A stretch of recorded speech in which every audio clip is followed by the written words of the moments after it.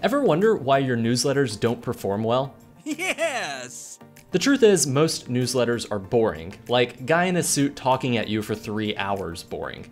So, how do you make newsletters exciting and write them quickly? Hey, this is Caleb with Curious Refuge, and in this video tutorial, I'm gonna show you how to write your entire month's worth of newsletters in only 20 minutes. This video is gonna use a technique that I like to call the emotional sandwich. So grab your jar of mayonnaise and let's get started.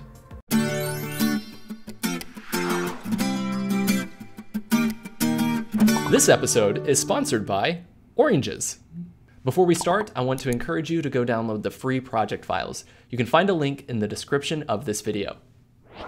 So, why are newsletters boring? Well, simply put, they lack a lot of emotion. You're not writing a newspaper, you're telling a story. And that story could be geared towards people who like fitness, or knitting, or dancing robots. Treat your email like the movie Inside Out. You have to have emotions like joy, fear, anger, and surprise in your newsletters. I know that surprise is not a character in Inside Out, but you get the idea. These characters will surround your content to create an emotional sandwich that will help people remember your key business links. Now, your brand voice might not incorporate all of the emotions found in this tutorial, and that's totally fine. What's important is that you're consistent with the emotions that you do bring out in your newsletter. So, for example, Curious Refuge, because we are a positive and optimistic brand, we don't include links that talk about fear or insecurity or anger, but rather we replace those with hope and encouragement. It just depends on whatever industry you're in. All right, so with the animated movie metaphor in the bag, let's move on to the tutorial. Step number one, upload your files to Google Drive. So once you've downloaded the free template over at Curious Refuge, all you have to do is double click on the file to unzip it and you will see this folder. And all you have to do with this folder is upload it to Google Drive. You can just drag and drop and there you go. Now you can go into the folder and we have to initialize each one of these documents. So just double click each one, open with Google Sheets, go to File, Save as Google Sheets, and we'll do the same thing for the Word document. Just double click, open with Google Docs, and go to File, Save as Google Docs. And that brings us to step number two, curate your links. Now, there are a lot of ways to gather links for your newsletter. One way is to just have a running list on your phone, and anytime you come across a link, just add it in. You can also ask your community, or you can use this super awesome tool called Feedly. I'll show you how to use it. So Feedly is an awesome tool that allows you to look for articles that are published in certain topic categories. It's essentially an RSS reader. So let's say we had a food blog and we were looking to populate content for our culinary newsletter that goes out every single week. Well, all you have to do is log in to a free Feedly account and click create a feed. We can just call this feed cooking and hit save. And now we can add content. So if you hit add content, you can search by topic. So we'll just do cooking and click it.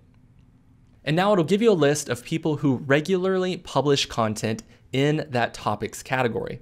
And you can just go in here and follow them.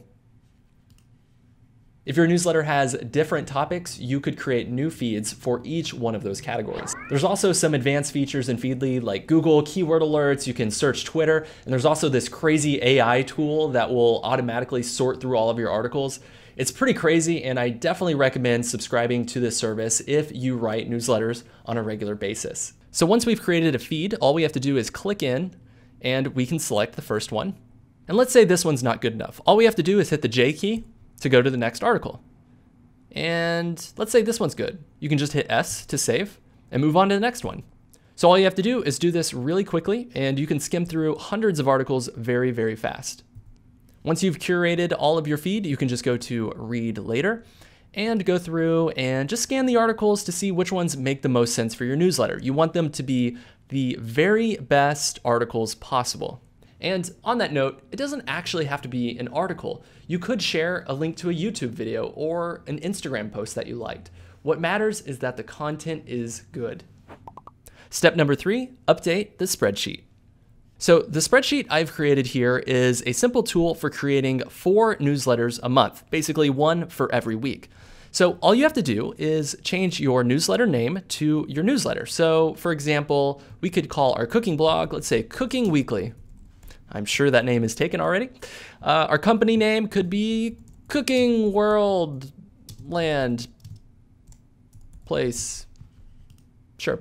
And go in and select the date of first send. So for this one, we'll just say that next Tuesday is when we're going to send our first email. This tool will automatically populate the link for the three following newsletters as well. So you can see here that we have four different emotions, joy, surprise, fear, and anger along with company content. So company content is any content that you've created on your company's website.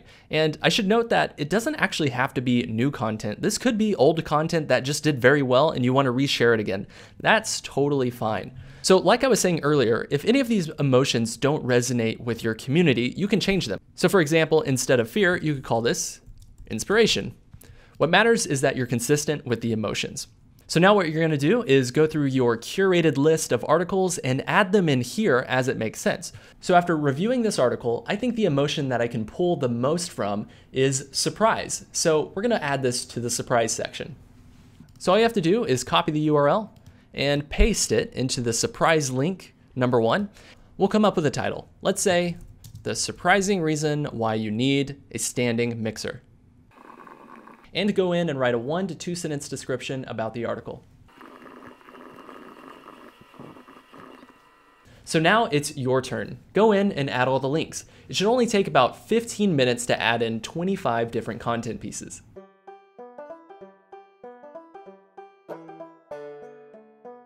All right, with the spreadsheet populated, it's time to move on to the next step. Step number four, generate your newsletters. So with the copy written, we're gonna go to our newsletter creation sheet sheet right here, and we will go to add-ons and Document Studio. If you don't have Document Studio, just click Get Add-ons, search Document Studio, and select it right here to install. So we'll go to Add-ons, Document Studio, and Open.